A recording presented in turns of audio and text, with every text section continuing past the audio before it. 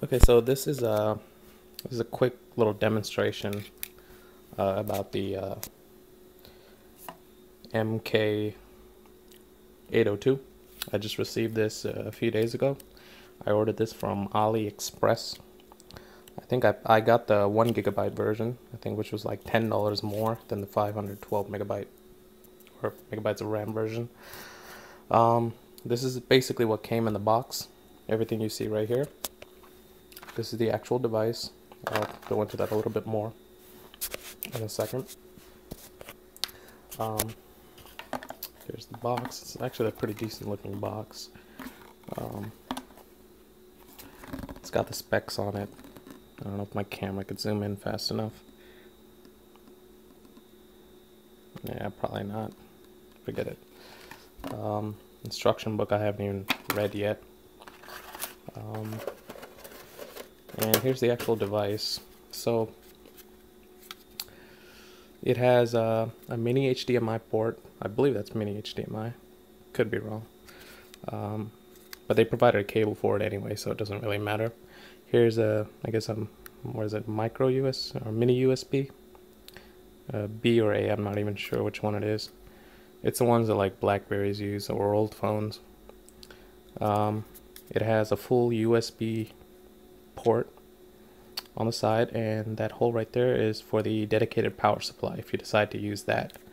Uh, it also has a slot for micro SD card which I have one in there actually right now. Um, yeah, too lazy to take it out, but yeah. So this is the actual device. Uh, these are the cables. This is the dedicated power supply. This, if you plug it into the side, uh, it'll keep your device on the whole time, even if your TV is off. Um, here's the power supply cable, which basically uh, is a USB cable, which I use as the power supply. Um, here's the uh, mini HDMI to uh, full HDMI converter cable that came with it. And here's actually that same USB plug, but the other end it's like a, a female USB, so you can plug in, you know, a mouse receiver or hard drive, uh, so or some other USB device. Uh,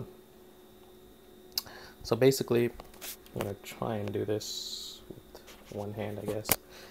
Um, the way I connect it is uh, I have my keyboard and mouse right here. It's like a $20 Logitech you know, dented box thing I got uh, like years ago.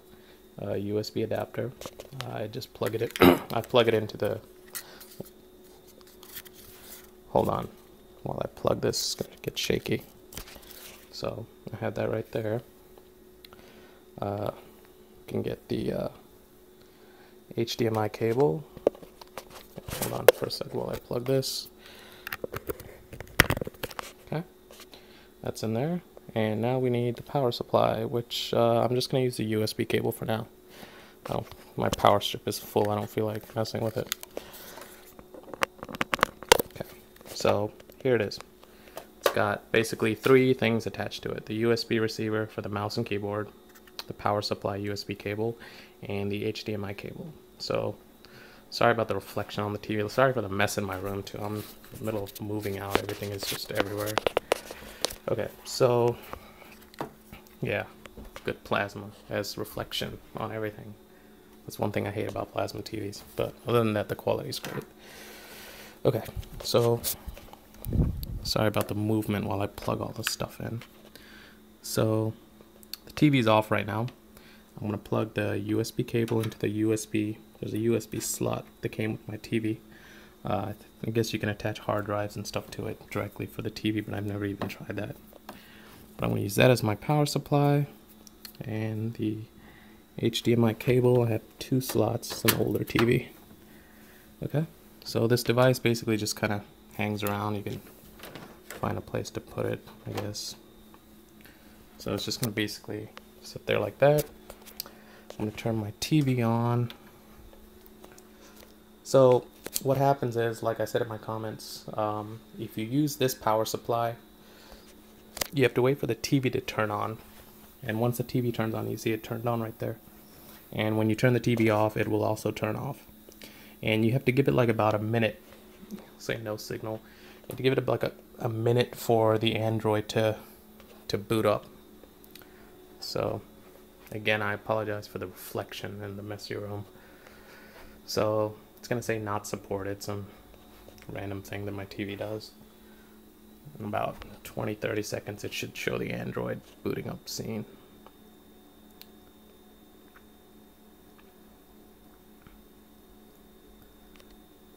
Okay, come on.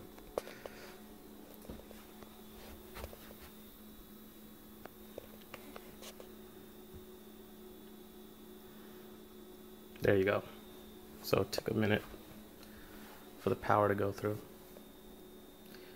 If you don't, like I use this because I don't have to attach anything else to it. Um, normal people will just use probably the power cable. It'll just stay on the whole time and just flip to the channel. So this is what came with it. Um, Android 4.0, of course. Um, these buttons down here are, you know, I haven't touched any of it.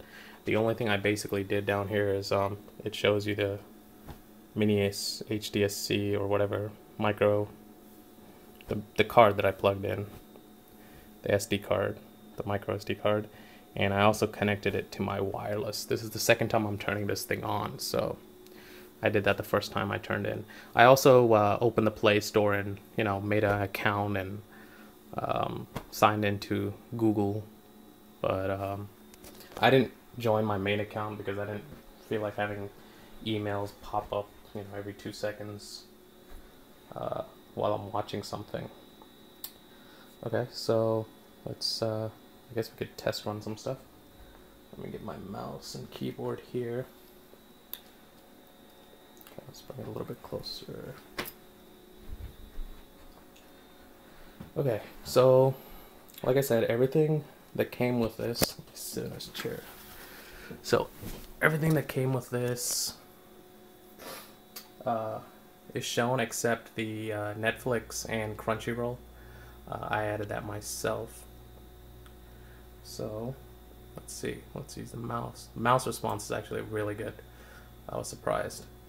So, uh, Angry Birds browser, just basically the, you know, basic Android stuff. Um, I guess we can check out like YouTube real quick. Excuse me.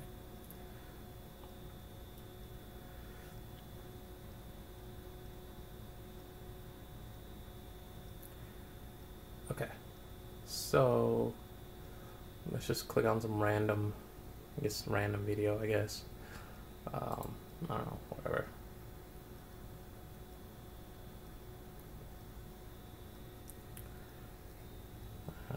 My hand is getting tired of holding this thing. It's my first time recording using this phone. This is a Galaxy Nexus, by the way. Just got it from the Play Store. I upgraded it to Jelly Bean. I think I'm actually I think I'm downloading something. Hope it's not gonna slow things down here.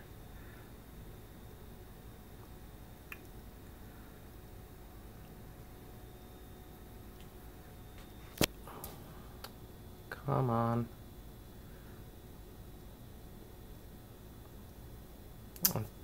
I think the first time I'm running this, it's like, it's probably doing extra stuff.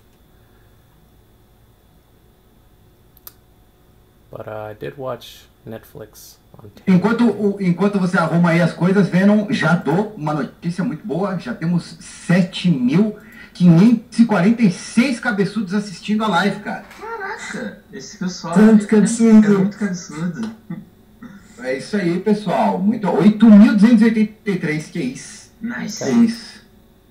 So you can't really see the quality, I guess, but to me, um, you know, it looks pretty decent. It looks basically like an HD content, uh, like 720p, 1080p content.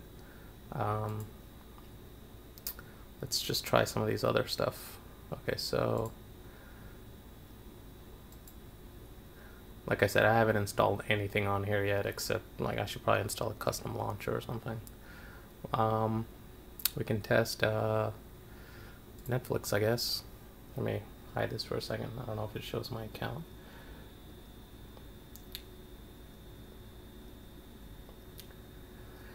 Loading.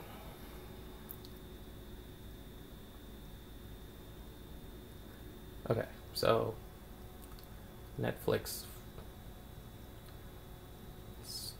I guess we could just watch some random thing. So, I guess the first time you run Netflix like this, it takes a while to load everything. But um, I believe once you start playing it, uh, it should be fine.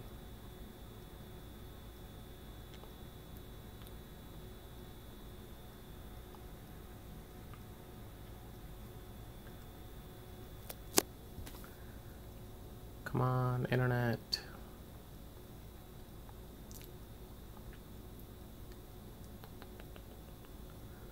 Okay. Let me move the mouse out of the way.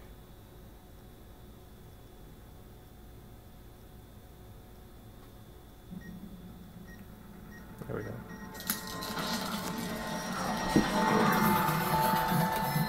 Again, it's pretty clear. Um, nearly HD quality. I mean, it's actually HD quality. I can't tell the difference. Um,